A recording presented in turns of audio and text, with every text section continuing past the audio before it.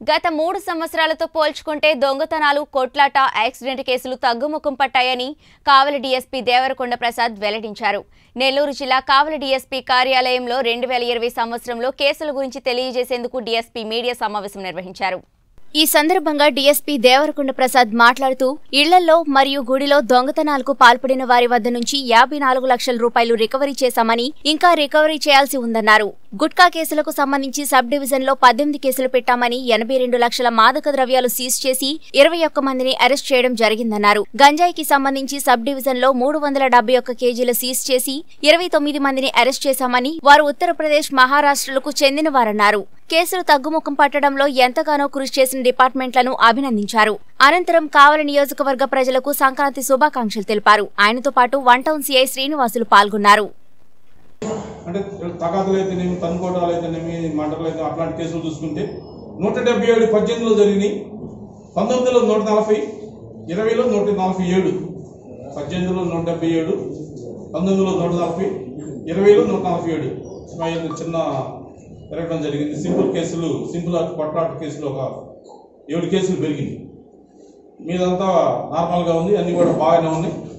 అదేవిధంగా accidents accident పరంగా చూసుకుంటే పద్దెనిమిదిలో రెండు వందల ఒక్క యాక్సిడెంట్స్ జరిగినాయి. రోడ్ యాక్సిడెంట్స్ జరిగినాయి రెండు వందల ఒకటి. పంతొమ్మిదిలో నూట డెబ్బై ఎనిమిది ఇరవైలో నూట ఎనభై ఎనిమిది కేసులు. ఇరవై కన్నా పద్దెనిమిది కన్నా పంతొమ్మిదిలో తగ్గి పంతొమ్మిది కన్నా ఒక ఎనిమిది కేసులు ఇరవైలో పెరగడం జరిగింది. ఆ విధంగా కూడా చూసుకున్నా కూడా క్రైమ్ రేట్ అది కూడా తక్కువే ఉంది. సంతోషం. అదేవిధంగా మనం గత రెండు రెండు మూడు సంవత్సరాలతో పోల్చుకుంటే ఈ సంవత్సరం మంచి మంచి కేసులు రిజెక్ట్ చేయడం జరిగింది. ఇళ్ళలో దొంగతనాలు అయితేనేమి టెంపుల్స్ అయితే ఇళ్ళలో దొంగతనాలు అల్లూరు సంబంధించిన ముద్దాయిలు పట్టిన ముద్దాయిలు దగ్గర నుంచి దాదాపుగా యాభై నాలుగు లక్షల రూపాయల ప్రాపర్టీ రికవర్ చేయడం జరిగింది. ఇంకా రికవర్ చేయాల్సింది దాంట్లో కొంచెం రిసీవర్ అప్స్టాండ్ ఉండడం వల్ల జరగలేదు. దాదాపుగా ముప్పై రెండు కేసులు దాంట్లో రికవర్ చేయడం జరిగింది ఆ కేసుల్లో. అదేవిధంగా గంజాయి గుట్కా కేసులు వచ్చేటప్పటికి పద్దెనిమిది కేసులు పెట్టడం జరిగింది సబ్ డివిజన్లో. పద్దెనిమిది గుట్కా కేసులు వాటిలో ఎనభై రెండు లక్షల రూపాయల ప్రాపర్టీస్ సీజ్ చేయడం జరిగింది. ఎనభై రెండు లక్షలు ఎక్కడన్నా కానీ టౌన్లో అయితేనేమి రూరల్ అయితేనేమి కలిగిరి ఉదయగిరి వరకు సబ్ డివిజన్ మొత్తం మీద ఎనభై రెండు లక్షల రూపాయలు రికవర్ చేయడం జరిగింది. ఒక పద్దెనిమిది కేసులు ఇరవై ఒక్క మందిని అరెస్ట్ చేయడం కూడా జరిగింది. ఎవరైతే సేల్స్ చేసేవాళ్ళు అంటే షాప్ వాళ్ళు కాదు మెయిన్ సప్లై చేసేవాళ్ళు ఇరవై ఒక్క మంది. ఇంకా షాప్ షాపుల వాళ్ళు అయితే చాలా మంది ఉన్నారు. మెయిన్ సప్లై చేసేవాళ్ళు ఇరవై ఒక్క మందిని ఐడెంటిఫై చేసి వాళ్ళ దగ్గర నుంచి ఆ వెహికల్స్ కూడా వాళ్ళు వాడుతున్న వెహికల్స్ కూడా సీజ్ చేయడం వాళ్ళు ప్రకాశం జిల్లా వాళ్ళు మన దగ్గర వాళ్ళు మన జిల్లా ప్రకాశం జిల్లా నుంచి రెండు జిల్లాల నుంచి సంబంధించిన వాళ్ళని బెంగళూరు నుంచి చార్జ్ అరెస్ట్ చేసే వాళ్ళని అరెస్ట్ చేయడం జరిగింది. అదేవిధంగా గంజా కేసులు వచ్చేటప్పటికి మూడు వందల డెబ్బై ఒక్క కేజీ కేజీలు ఈ సంవత్సరం మనం సీజ్ చేయడం జరిగింది. మూడు వందల డెబ్బై ఒక్క కేజీలు గంజాయిని సీజ్ చేయడం జరిగింది. వాళ్ళలో వాళ్ళలో ఇరవై తొమ్మిది మందిని అరెస్ట్ చేసాము ఇరవై తొమ్మిది మందిని. ఇరవై తొమ్మిది మందిని అరెస్ట్ చేయడం జరిగింది వాళ్ళని.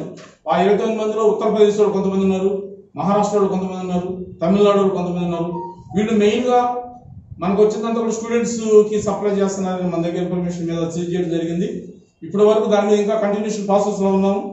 అది వచ్చేసి ప- పంతొమ్మిదిలో పంతొమ్మిది కేజీల ఎనిమిది వందల నలభై గ్రాములు ఇరవైలో మూడు వందల డెబ్బై ఒక్క కేజీ సీజ్ చేయడం జరిగింది గంజాయి. సీజ్ చేసి పట్టుకోవడం జరిగింది.